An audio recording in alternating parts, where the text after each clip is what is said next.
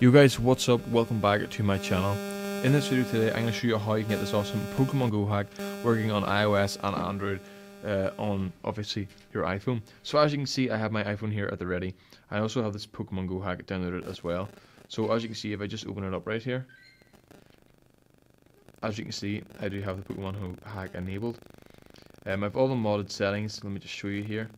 So if I just go to settings, guys, um, as you can see, uh, stuff like spoofing, spoofing is on obviously. Uh, I'm I'm not sure 60 FPS is actually a iPogo feature or not, but cooldown warnings off on, dark mode, joystick. Um, let me just turn the joystick on. So as you can see, I have the joystick now, guys, which works, and I can move about the map. Now let me just go. I can also teleport as well, which I may as well show you how to do. So if I just open the map right here. I can just teleport down here by long tapping and clicking teleport and just clicking OK. So as you can see I've teleported almost instantly guys down here.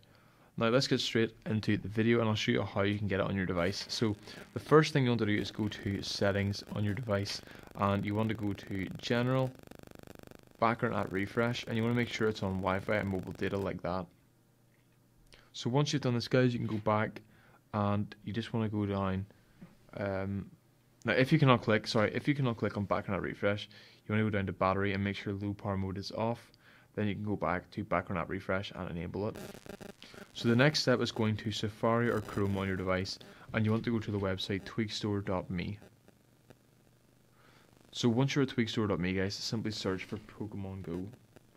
As you can see, it is right, right, right there. So just click download, guys, and what I'll do is start downloading Pokemon Go to your device. It shouldn't take too long, roughly about a minute or so.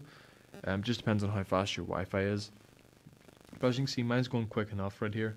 Um, also, please leave a like on this video, guys. Comment down below and subscribe to the channel if you want more content like this in the future. It would be greatly appreciated, guys.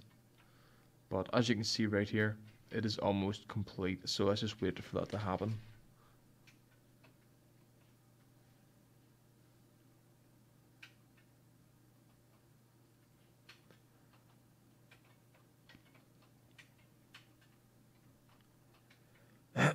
Okay guys, so as you can see it says install now.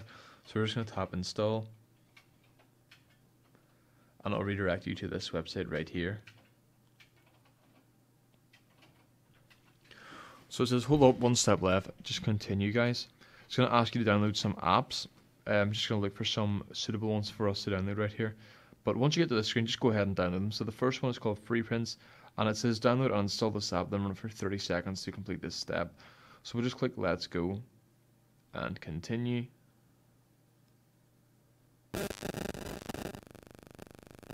And once it's in the App Store, guys, just click the download button and download it to your device.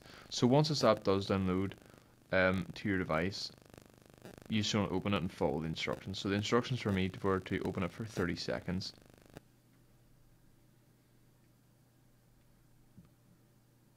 So as you can see, this one is taking quite a while for this one here to download, which is fine. Let me go. I'm just gonna go and check, guys, and see if I can make that faster.